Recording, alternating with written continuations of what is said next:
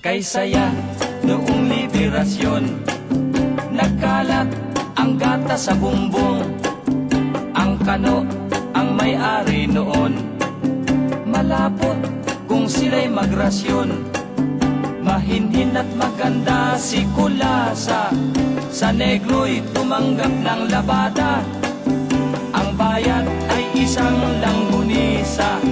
Ang haba ay 8 pulgada Cha-cha-cha, sabi ni Kulasa Kay sarap nitong langgunisa Lalo na't kung side pala Kay taba, mahaba't mapula